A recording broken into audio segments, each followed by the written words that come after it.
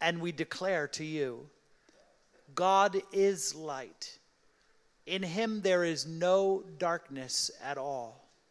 If we claim to have fellowship with him and yet walk in the darkness, we lie and we don't live by the truth. But if we walk in the light as he is in the light, we have fellowship with one another, and the blood of Jesus, his son, cleanses us from all sin. If we claim to be without sin, we deceive ourselves and the truth is not in us. But if we confess our sins, He is faithful and just to forgive us our sins and to cleanse us from all unrighteousness. If we claim we have not sinned, we make him out to be a liar, and his word has no place in our lives. My dear children, I write this to you so that you will not sin. But if anybody does sin, we have one who speaks to the Father in our defense Jesus Christ, the righteous one. He is the atoning sacrifice for our sins, and not only ours, but also for the sins of the whole world. I want to tell you this morning that we live in a dirty world. If you knew just how dirty it really is, it would make you OCD for sure. Your world just isn't as clean as you think it is. Do you know that money is one of the dirtiest things that you handle every day? 87% of dollar bills have fecal matter on them and other bacteria that can make you seriously sick. That's why your mother always told you don't put money in your mouth. Vending machines, ATMs, parking meter kiosks, escalator handrails, public mailbox handles, elevator buttons all have high levels of bacteria on them that can make you sick. Two thirds, are you ready for this? Two thirds of shopping cart handles have fecal matter on them. Gas pump handles are about the dirtiest things that you touch on a regular basis.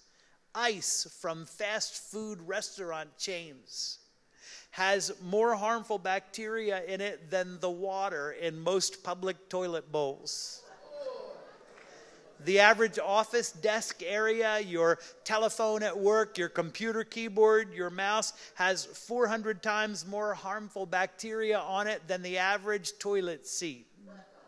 You are more likely to get sick from your cell phone than from the door handles on public restrooms. Do you know tests have found that most people's cell phone have about 4,000 times the level of harmful bacteria than is permitted in the public drinking water supply, which means that your cell phone is 4,000 times dirtier than New York City tap water that you refuse in restaurants. Do you like to greet people with a firm handshake? 30% of us don't wash our hands after using the restroom, even though 80% of us say that we do. And if you swim in a public pool for an hour, you're likely to ingest about three ounces of urine. We live in a dirty world.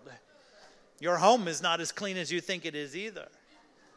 Most people think that the dirtiest room in their home is the bathroom. It's really the kitchen, with your kitchen sink being the dirtiest place in your entire house.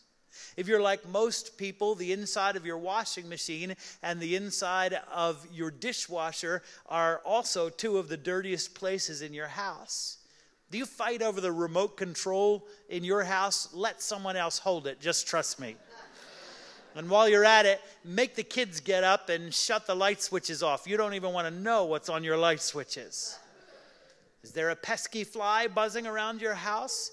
He is defecating every four to five minutes. Think about that the next time he lands on your dinner plate. If you've had this one's really gross. If you've had your pillow for over two years, about one third of the weight of your pillow is dead skin cells dust mites, and their droppings. I can't even begin to tell you about your toothbrush. If I did, we would cross a line and you'd leave, all right? Let me just say this to you. Make sure you put your toothbrush away in the medicine cabinet before you flush the toilet. Enough said. We live in a dirty world, and you are not as clean as you think you are either. Do you know about 32 billion bacteria live on your skin? In fact, 2 to 3% of your overall body weight is comprised of bacteria, fungi, microbes, and parasites. So if you're a 200 pound man, about six pounds of you is dirt. You might be surprised to know that the dirtiest part of your whole body is your mouth. It's home to over 500 different kinds of bacteria. Only cats have dirtier mouths than humans. The second dirtiest part of your body is your forearms. Do you like peanut butter? Every half cup of peanut butter contains, on average, 30 bug fragments and one rodent hair. Sticking with pasta instead, on average, there are about 450 insect fragments in every one pound box of pasta. The average person eats three to four pounds of dirt per year and inhales an average of 14 insects and spiders a year while sleeping with their mouths open. Your feet sweat 91 and three quarter cups of sweat every year. Your skin sheds 10 billion cells a day. That's about nine pounds a year. In fact, you change your skin out entirely every seven years. Where does all that skin go? Well, about 90% of household dust is your dead skin. We live in a dirty world. And our world isn't just physically dirty either, our world is morally dirty. The Boston bombings tell us so. Sandy Hook Elementary School tells us so. The police and the courts and the prisons tell us so. Our own life experience tells us so. Our world is morally dirty. People do bad things all the time. All people. The Bible tells us so. In John, our dirt is called darkness and sin, and it's everyone's problem. And as I look at these verses in First John, I find that they answer three questions about our dirty world, and I want to share them with you quickly this morning. Three questions about our dirty world. The first thing is this How did we get so dirty anyway? How did we get so dirty anyway? The truth is, we are all born dirty. David wrote about that. He said, Yes, I was born a sinner from the moment my mother conceived me. We're all born dirty from our first parents, Adam and Eve. Adam and Eve were created in perfection. They were placed in the middle of a perfect world. We talked about that this last Wednesday evening. We took a fresh look at creation. If you missed that talk on Wednesday evening, you can catch it on our website and then join us this Wednesday for a fresh look at Jesus. But Adam and Eve, they didn't have to worry about carting around six pounds of dirt with them. But they sinned, they disobeyed God. And when they did, they dirtied themselves, and they dirtied the entire human race after them. Paul wrote about it. He said, Sin entered the world through one man, Adam, and death through sin. In this way, death has come to all men. We're all born sinners. We're all born with an inescapable, irresistible compulsion to sin. Paul wrote about it. He said, We're all born selfish and disobedient by our very nature. And he wrote about the frustration that comes with that, a frustration that we all can recognize. He said, A war is raging inside of me. The things I want to do, I don't do, and the things I don't want to do are the things I end up doing. Who can rescue me from this? We're born dirty from our first parents, and we're born dirty from our birth parents, and their parents, and their parents. You know, every day science is catching up a little bit more with the truths that the Bible taught thousands of years ago. Every scientific discovery that's been made in the last 150 years since Darwin support what the Bible says about creation instead of what Darwin said about evolution. Genetic research has uncovered traits in DNA that predispose people to certain kinds of sickness and problems and aberrant behaviors. Scientists, you know, have discovered the cancer gene that make people predisposed to getting cancer. Scientists have discovered genes that make people predisposed to addictions. They've discovered genes that make people predisposed to violent or criminal or deviant behavior. God told us about it thousands of years ago. He said, The sins of the parents are laid upon the children, affecting the entire family to the third and to the fourth generation. Look up your own family tree. Is there addiction in your family past? Is there alcoholism? Is there anger? Is there abuse? Is there mental instability? Is there emotional instability or deviant behavior? Is there poverty in your family tree? I can bet you dollars to donuts that those very same problems are plaguing the current generation of your family and the up and coming generation of your family. I don't believe that anybody is born gay. And the so called science that is being used to support that is blatantly unobjective. But I do believe that people are born predisposed to sin, some predisposed to sexual sin and sexual addictions, and it's because of the dirt that was handed down to us from our parents.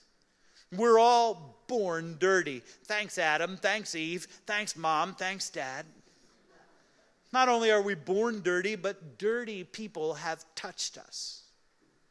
The biggest culprits in spreading sickness are hands and mouths. People who are sick spread their sickness to us through their hands and through their mouths. And the same holds true for our inner person.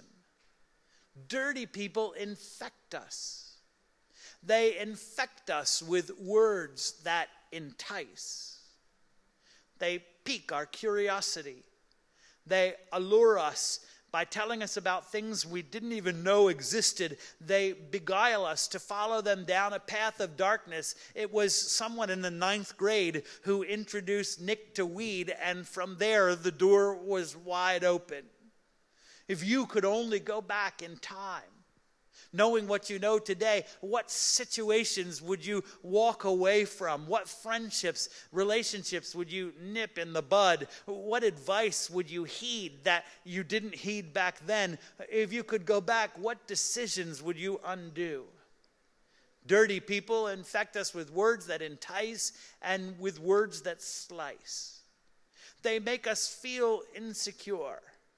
They make us feel worthless. They make us doubt that we're loved. They extort our weaknesses. They confuse us. Sometimes dirty people infect us by touching us. What a privilege we had to go minister at the LA Dream Center last week. You remember when Pastor Tommy Barnett was here last fall and he told us about the Dream Center. I want to tell you, it is everything that he said that it is. I hope that maybe all of you will have a chance sometime in the future to go back and go serve there with me. I have to tell you the truth. If I were young, I would pack my bags and I would go volunteer at the Dream Center and I would never look back. Matthew Barnett gave us a tour of all 13 floors. There's about 800 residents that are living there in recovery right now. On one floor, we stopped, and there were some young girls who told us their stories about how they've been rescued out of prostitution, how they've been rescued out of dancing in clubs and drug addiction. There was another floor where we stopped, and there were some very young moms with scads of little kids, and they told us how they were rescued from violent, abusive husbands. But I think the floor that really got to me the most was the floor with the program for 11 to 17 year olds. One 16 year old boy told us the story of his life. Before he was even born, his father took off. Parents weren't married. From birth to five years of age, he was shuttled back and forth between his father and his mother, who were both drug addicts. Their lives unraveled so badly that he was taken away from his parents and he was sent to live with his maternal grandmother, who was also a drug addict she would give him doses of Oxycontin and Vicodin and other kinds of drugs to knock him out for two or three days at a time while she went on drug binges.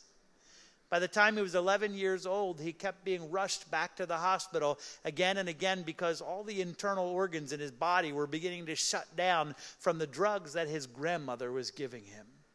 He was taken away from the grandmother and he went to live with his father, who had since gotten married and had two more children. And he said that he tried so hard.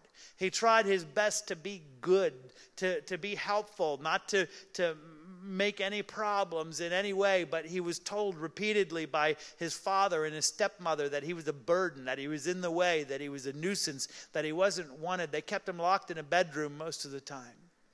So he began escaping out of the window. He got involved with gangs and gang violence, crime, began dealing drugs. He was arrested several times, and his father didn't know what to do with him, so he sent him to live with his uncle, who was also a drug addict and who sexually molested him for two and a half years. There he is at the Dream Center, 16 years old, trying to put his life back together again. Dirty people touched him. They desecrated his body. They messed up his mind. They killed his emotions. They soiled his spirit. They stained his soul. And he's left to do something with this stain that other people have left on him. It's not fair. Dirty people, they cross our path. Can I tell you that Satan, it's a setup from the devil. He sets up people to meet us, the wrong people at the wrong time in the wrong place to open a door to us and lead us down a path God never wanted us to go down. And then we're left to deal with it all.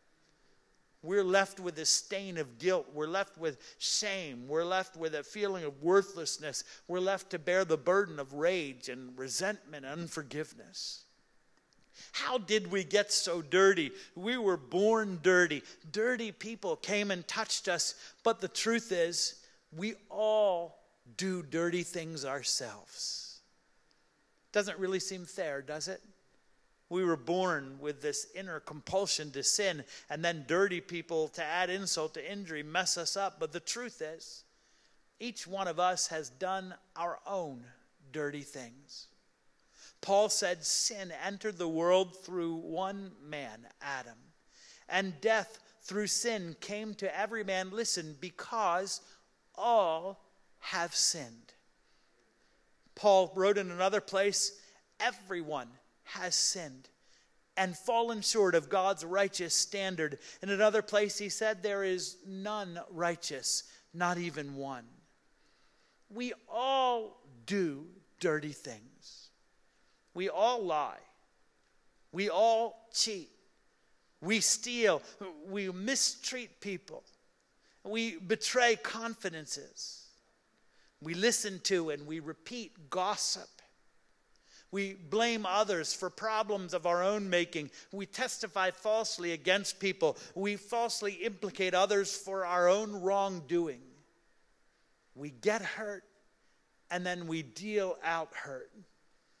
We take advantage of people to get what we want. We mislead. We manipulate. We ourselves, we seduce people into sin.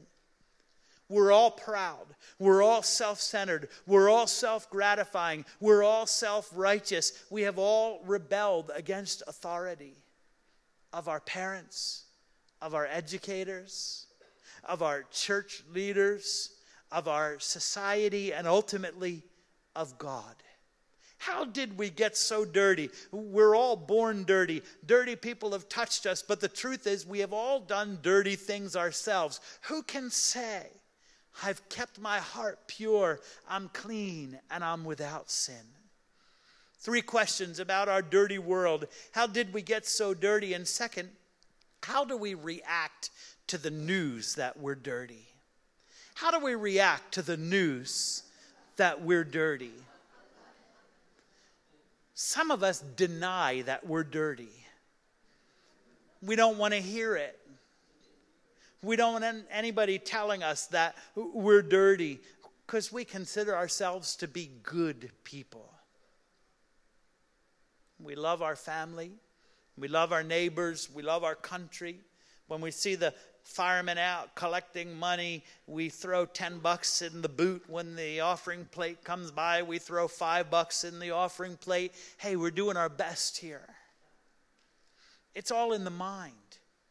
You're only dirty if you believe you're dirty. So don't tell me I'm dirty. Some of us downplay our dirt by comparing ourselves to others. Can I tell you, compared to the shysters and the looters who have taken advantage of the victims of Superstorm Sandy, you look pretty good. Compared to the Boston bombers, you look pretty good. Compared to the Sandy Hook shooter, you look pretty good. He just joined the notorious tyrants of history in hell. Compared to them, you look pretty good. But listen to me, beloved, just like the tiniest amount of microscopic bacteria can make you sick and even put you on the deathbed, the tiniest amount of sin can condemn you to the same fate as all of those. James says, Whoever breaks the law in just one point is guilty of breaking the whole thing. Even one very tiny hole can sink a great big ship. John says if we deny that we've sinned, we're self deceived, we don't know the truth. If we deny that we've sinned, we make God out to be a liar. Some of us just don't care that we're dirty. The whole world is dirty after all. I'm dirty, you're dirty, we're all dirty. Just roll in the mud together. Parents are dirty. Public and private educators are dirty. Police are dirty. Politicians are dirty. Profiteers are dirty. Even preachers are dirty. So, what's the point? Maybe being dirty isn't really a problem. Or maybe since being dirty is everybody's problem. I don't have to worry about faring any better or any worse than anyone else. But the Bible says that being dirty is a problem because God is clean. God is light. In him is no darkness. He lives in unapproachable light. He is clean, and nothing dirty can come near to him. Beloved, everybody look at me.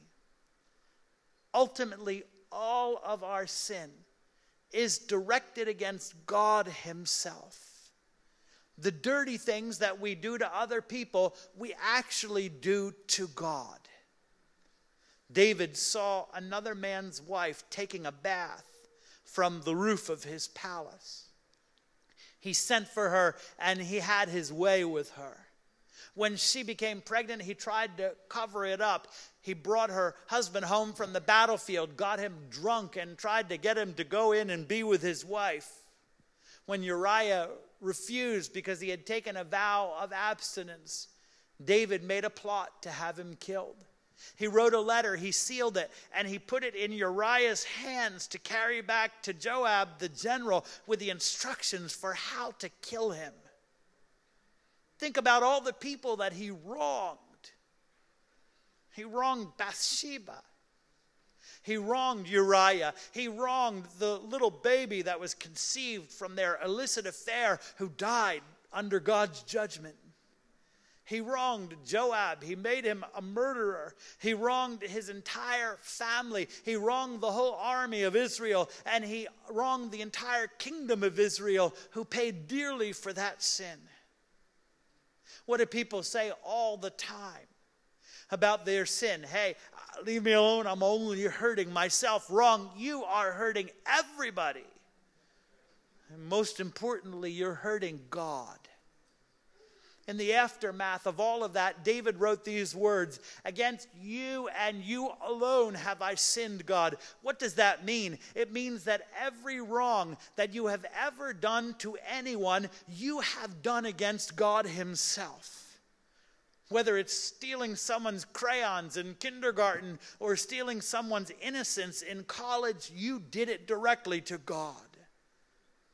And if we remain dirty, if we deny that we're dirty, if we downplay our dirt, or if we just don't care, it will seriously diminish the quality of our life here on earth. But more importantly than that, it will send us to the most horrible place conceivable for all of eternity. Why is it so bad to be dirty? It's because God is clean. And if we remain dirty, we cannot connect with Him now and we can't enjoy His beautiful presence forever in heaven. Who may ascend to the mountain of the Lord? Who may stand in His holy presence? Only those whose hands are clean, whose heart is pure, those who have not made an idol out of anything else, and who never tell lies. Beloved, I tell you this with a broken heart this morning. Some of you idolize pot. Some of you idolize alcohol, pornography, the pills that you depend on. Some of you love weed more than you love God. You love the momentary euphoria, the lift that it gives you more than you love worshiping and obeying and pleasing Him. If you do not lay down that idol and everything else, you will miss out on eternity in heaven with Him. Listen to me, pot is a big deal. It is not trifling and it is not funny. And God can help you to get clean. We can help you to get clean. We're equipped, we're prepared, we're ready to help you. How do we react to the news that we're dirty? Some of us try to do it ourselves. Some of us try to make up for the misdeeds of our past by doing good deeds now. It's good to do good. You do well to do good. But if you do good, it doesn't negate the bad you did yesterday. It doesn't make it magically disappear. It's good to help people today, but that does nothing to mend the people that you hurt yesterday. It doesn't take away the sins you've committed against God Himself. Some of us try harder and harder to be good. We try hard to improve ourselves we make resolutions, we set goals, we go to therapy, we join groups, we get active and educated and involved. You know, all those things, they're all fine. They might make you fitter, they might make you smarter, they might make you more interesting and better rounded, they might make you more in touch with your emotions and more expressive, but none of them can make you any less dirty. We can't remove ourselves the inner compulsion to sin that we were born with. We can't remove the stains inside that someone else left on us. We can't remove the stains that we've put on our own conscience. How many of you have still have the little towelette that was on your seat when you came in? Do you still have it? I'm surprised if you didn't open it after my introduction. Think about all the dirt in the world Think about all the, the dirt in your home and think about all the dirt on you. And imagine if this was all that you had to clean it up with. Where would you begin? Would you start with your mouth? Would you start with your hands? Would you start with your neighbor's hands? The thought that we could use this to clean up all the dirt in the world it's as ridiculous as the thought that we could cleanse ourselves. Isaiah wrote very graphically all our good deeds are like dirty menstrual rags to God. It's shocking, but that's what the Bible says. In Isaiah 1, God says, Let's sit down together. Let's talk. Let's negotiate. What shall we do about your bloody stains? I want them out of my sight. And that leads us to the third question about our dirty world. How did we get how do we react to the news that we are dirty? And finally, how can we get really clean? How can we really get clean? Pastor Jason, you can come and help me. We live in a dirty world. We are dirty people living among an ocean of dirty people. How can we really get clean? Beloved, there is only one thing that can clean the dirty nature that came through your bloodline. There is only one thing that can clean the bloody stains that others have left on us. There is only one thing that can clean the guilt that we have made on our own conscience. Only blood can get out blood. The only blood that can cleanse your bloody stains is the blood of Jesus Christ, the spotless Lamb of God. John said, if we claim we haven't sinned, we make God out to be a liar. But in our sin, we have one who advocates before the Father for us, Jesus Christ, the righteous one. He himself is the atoning sacrifice for our sins and the sins of the whole world. In just a few words, John gives us the very simple formula for getting clean. Can I tell you, the gospel is so simple that it trips people up. People think that we have to go through all kinds of elaborate steps and all kinds of elaborate ceremonies. It's very, very easy. John says, if we confess our sins, He is faithful and just to forgive us our sins and to cleanse us from all of our dirt. Your world is dirtier than you thought. You are dirtier than you thought, but you don't have to stay dirty. You can become clean today. It's as easy as A, B, C. A, admit that you're dirty. Our own life experience tells us so. Our conscience tells us so. The Bible tells us so. Right now, the Spirit of God is moving like a wind through this room to tell you so. Don't deny your dirt. Don't downplay your dirt. Don't dismiss it. Don't try to do it yourself. Accept the truth. Jesus calls this poverty of spirit. It's a moment of humility when we realize that we're dirty and we reach out to God for His help. Isaiah had that moment in the presence of God when he fell down on his face and he said, Woe is me. I'm a man of dirty lips, living among people of dirty lips. Peter had that moment on a boat in the Sea of Galilee when he fell to his knees and he said, Go away from me, Jesus, I am a sinful man. Paul had that moment on the Damascus Road in the presence of God when he fell down on his face and he said, Who are you, Lord? And what do you want me to do? The Philippian jailer had that moment when he fell down trembling on his knees in a dark prison cell and he said, What must I do to be saved? How can we really be clean? A, B, C. Admit. Admit that you need him. B, believe. Believe in Jesus. Believe that He is the Son of God. Believe in the power of His sacrifice on the cross and the power of His resurrection from the grave.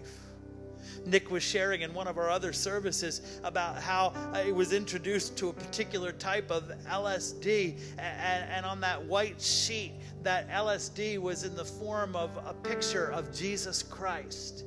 And he said it was the most beautiful artwork that he's ever seen. What a horrible liar the devil is. In that beautiful picture of Jesus was a powerful drug that was a gateway to the demonic realm, to the demonic world. A demon came and confronted him and spoke to him while he was on that trip. And when Nick said the name of Jesus, that thing fled away and he was instantly delivered from the high that he was on.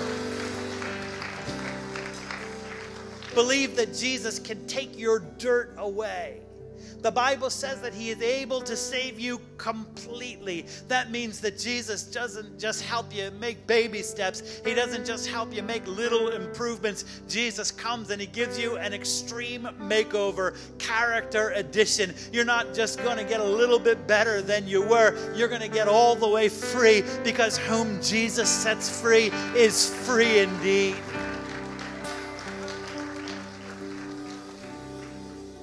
It's okay if you still have questions. It's okay if you, you don't understand how it all works together. It's all right. This Wednesday, we're going to be talking about Jesus, and we're going to be describing to you some of the mechanics of salvation and, and how his sacrifice uh, on the cross results in all of these things in our lives. But it's okay. You don't have to have it all put together, you just have to believe. How can we really be clean? Ask, believe, ABC, and finally confess. Confess that Jesus is Lord. Confess Him as your Lord, Him and Him alone. Confess that He is your leader and that you're His follower for the rest of your life. Three questions about our dirty world. How did we get so dirty? How do we react to the news that we're dirty? And finally, how can we really be clean? Only through the blood of Jesus. I've asked Pastor Jason to share an old hymn of the church. I want you to give a listen, and if you know the words, sing along. Thank you, Pastor Jason. What can wash away my sin? Nothing but the blood of Jesus. What can make me whole again. Nothing but the blood of Jesus. What can wash away my sin? Nothing but the blood of Jesus. What can make me whole again. Nothing but the blood of Jesus.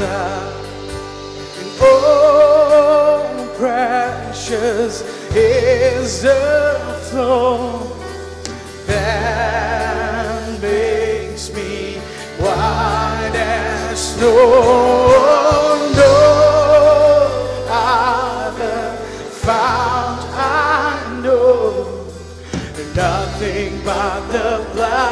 Blood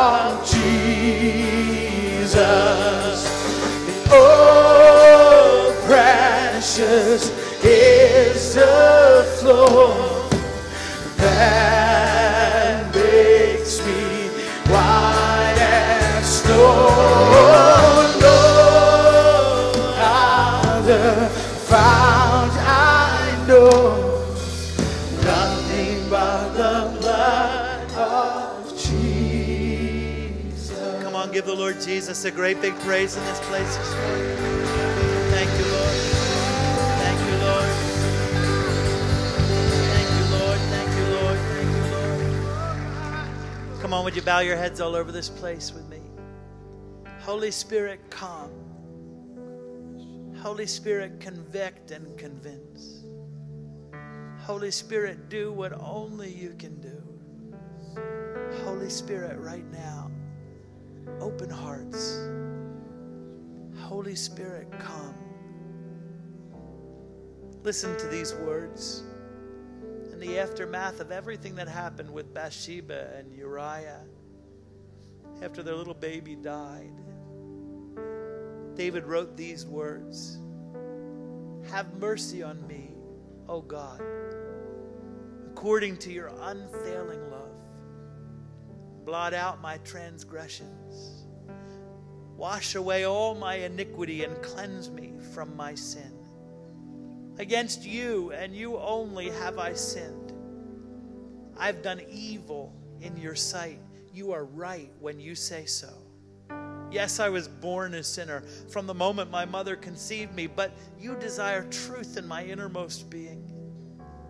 Cleanse me, and I shall be clean. Wash me, and I shall be whiter than snow. Create in me a clean heart, O God.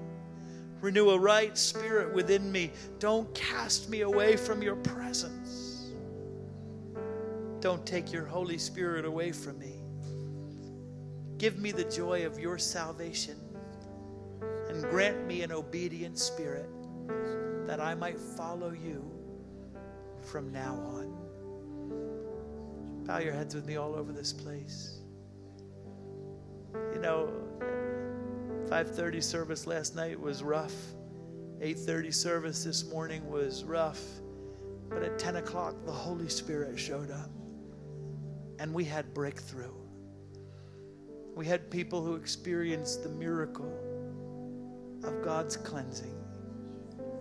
I wonder if there's someone here in this service, this last service of the day, you've never had that moment where you've received God's cleansing. You've never had that moment where you've admitted what the Word says about you is true, that you're dirty, and that you need God to come and wash you.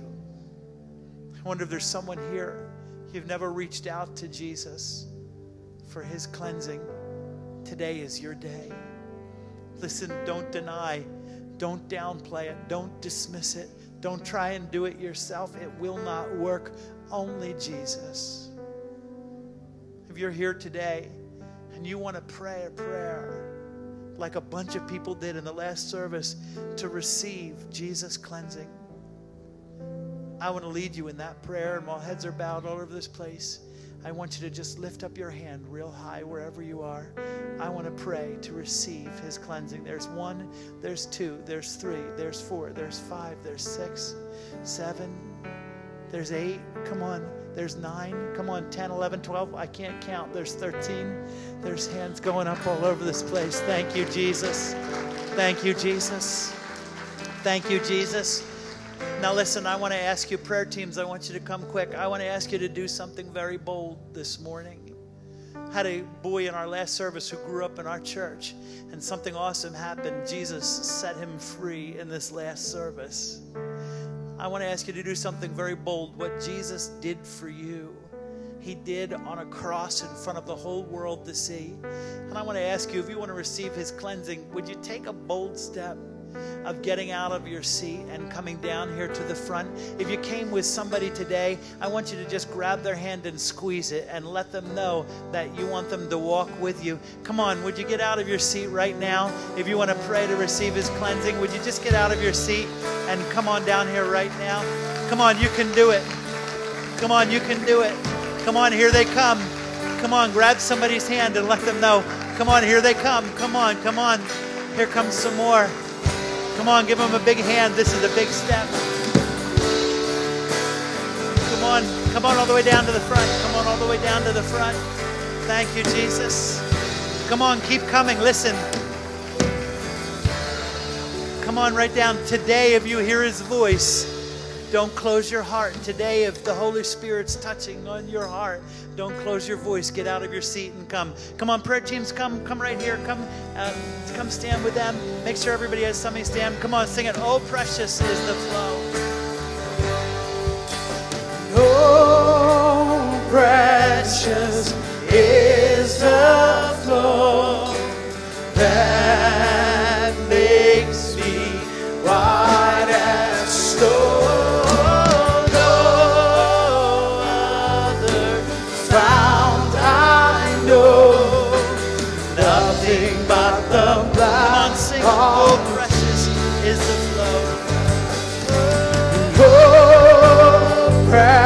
precious is the flow that makes me wide and slow. No other found I know, nothing but the blood of Jesus. Listen to me. I just say this one last time. It's not too late to get out of your seat and come down here. It's not too late to get out and come down here. Come on, if you need to come, come today. It's a good day. It's a very good day. If you need to come, get out of your seat and come. I want everybody to lift your hands all over this place. I'm going to lead you in a prayer. Those of you here at the altar, I'm going to lead you in a prayer. And for those of you in your seats, listen, if you've already said this prayer before, it feels so good to say it again because Jesus, He just keeps washing and washing and washing and washing us. And when we do, the power of God is going to come in this place. and he's going to make you clean. Come on, there's some more people coming. There's still time to come. Let's just let's just celebrate them. Thank you, Jesus. Come on, who else needs to come? Who else needs to come? Get out of your seat and come. Today, if you hear his voice, don't close your heart. Thank you, Jesus. Come on, lift up your hands, everybody. Let's say this together. I'm going to lead you, follow. Father, thank you for loving me. Father, thank you for sending your only Son. Jesus, thank you for coming. You lived for me. You died on the cross for me. I believe you are the Son of God. I believe you rose from the dead. I confess with my mouth Jesus is Lord. Jesus, I need you. I admit I'm dirty.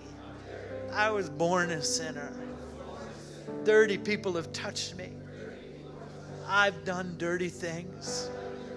Jesus, forgive me. Wash me. Jesus, make me clean. Take away my sin nature. Take away my stains. Take away my guilty conscience. Fill me with the Holy Spirit. Jesus, I confess you now as my Lord and the leader of my life. In Jesus' name, amen. Come on, let's just celebrate. Thank you, Lord. Thank you, Lord. Thank you, Lord. Thank you, Lord. Listen, just just real softly, real softly, just sing Oh the blood of Jesus and our prayer teams are just going to pray a little bit more. Just real softly, Oh the blood of Jesus. Oh, the blood of Jesus.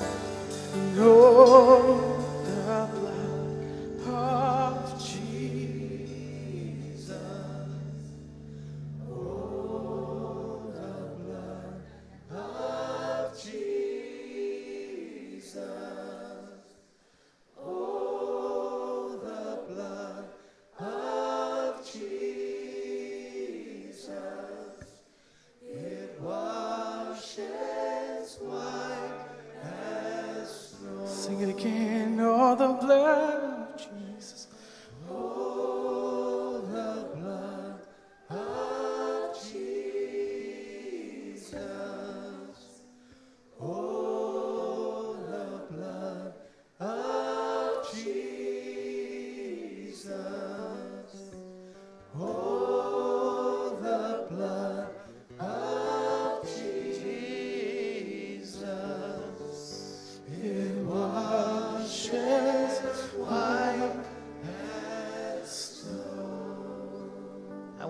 At the altar to just stay where you're put. We're going to dismiss quietly now.